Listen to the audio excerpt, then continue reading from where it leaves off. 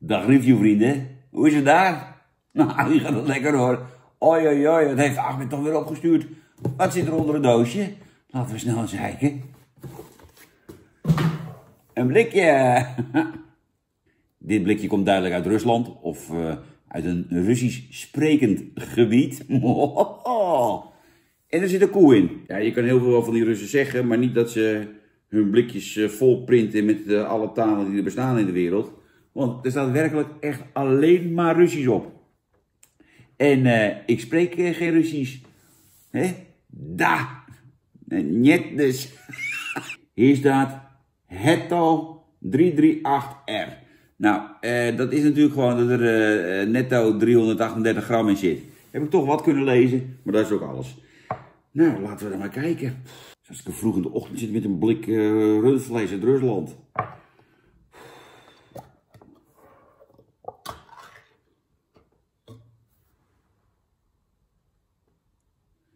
Ik heb het gevoel dat ik een blik kattenvoer heb opengemaakt. En zo ruikt het ook.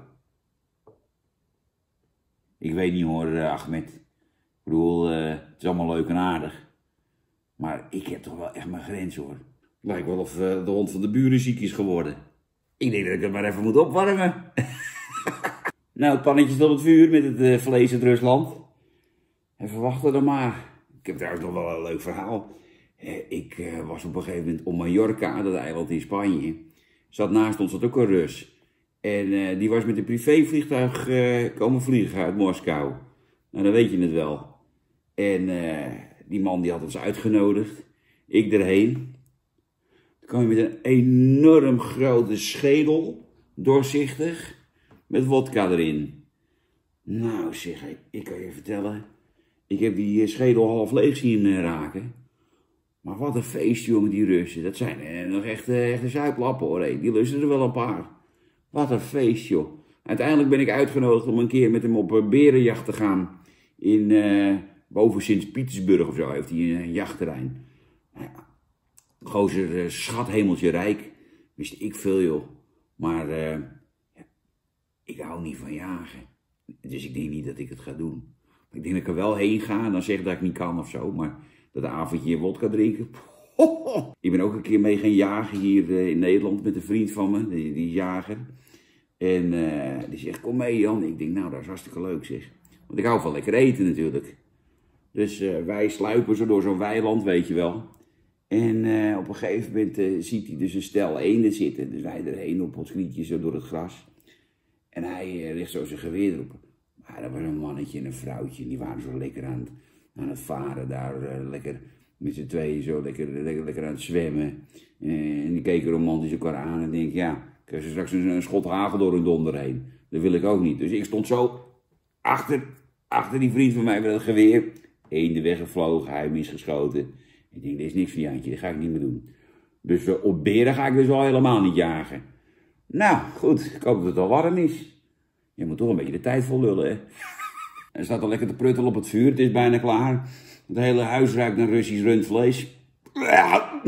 Maar uh, de show must go on, hè. Dus dan gaan we. 1, 2, 3.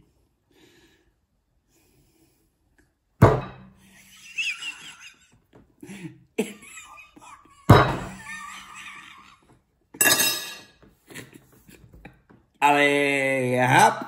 Het is warm. Is een beetje fijn geworden. Ik moet eerlijk zeggen, uh, het zag er in blik smakelijker nog uit dan uh,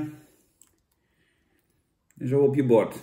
Ik noemde het net kattenvoer, maar ik denk niet dat de kat uh, dit eet. Er zit iets heel speciaals in. En als ik het zo zie,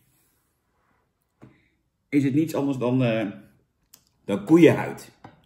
Waar ze even vergeten in de fabriek in, uh, in Rusland om de koeienhuid eruit te halen.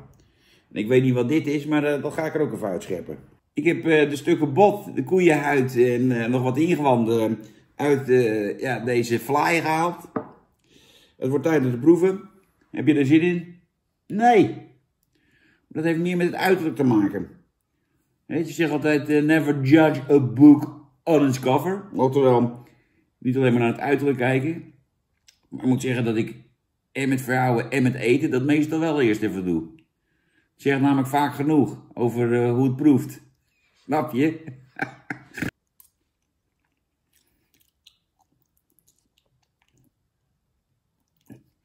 Dat was niet zo'n lekker stukje. Dat was ook geen vlees. De vraag is eigenlijk, als ik hier een vlees heb, wat is dan dat, die, die grijze bruine massa wat er omheen zit?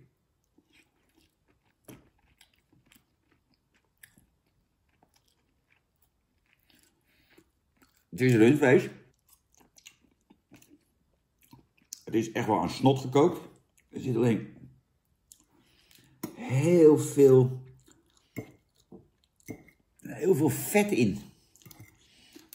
En nu zie je aan mijn hoofd dat ik niet heel erg vies ben van een beetje vet. Alleen dit is gewoon puur vet. Dit is, dit is gewoon hele vette bagger. Her en der rundvlees. En ik moet zeggen, hier, is niet eens goed schoongemaakt, joh. Ik word er niet zo blij van. Hier heb je dan een stukje vlees. En dan draai je het om. En dan zit daar dus nog een hele lap huid aan. Ik krijg er geen trek van. Uh, door die huid kun je dus niet bijten zo hard dat het is. Dan kan je zo onder je schoen tikken. Dan kun je ermee lopen. Kijk, ik wil niet onaardig doen over Russen. Want het zijn beste mensen. Alleen, eh, als dit is wat je kan maken van rundvlees, dan heb je wel een probleempje in je land. Want dit is eigenlijk gewoon niet te knagen. Terwijl, ja, een beetje stoofvlees, dat is heel makkelijk om te maken. En zeker makkelijk om het lekker te krijgen. Bijvoorbeeld door een beetje te kruiden. Ik denk als jij uh, heel hongerig bent uh, uh, op de straten van ijskoud Moskou, dat je denkt, goh, wat lekker, ik heb een blikje rundvlees. Ik gooi hem eventjes onder een vuurtje en dan uh, stopper ik dat lekker op. Maar het is hier niet koud en er zijn hier geen straten in Moskou. Dit is gewoon eigenlijk niet te knagen. En voor de mensen die zeggen, het oog wil ook wat. Uh, dit ziet er uh, niet smakelijk uit. Geef ik eerlijk toe. Is het smakelijk voor in het buikje? Nee, ook niet. Geef ik ook eerlijk toe. Dit blikje kan gewoon lekker in Rusland blijven. Nu moet ik natuurlijk een cijfer geven. Ik heb niet direct zin om ruzie te maken met oma Poetin. Maar ik moet wel zeggen dat dit wel erg niet te bunkeren valt. Alleen ja, aan de andere kant, eh, ze hebben wel rundvlees erin gedaan. Eh, ze hebben denk ik ergens wel hun best gedaan. En misschien is dit een delicatesse in Rusland. Landswijs, landseer zeg ik altijd maar. Maar dit eh, krijgt van mij een 5.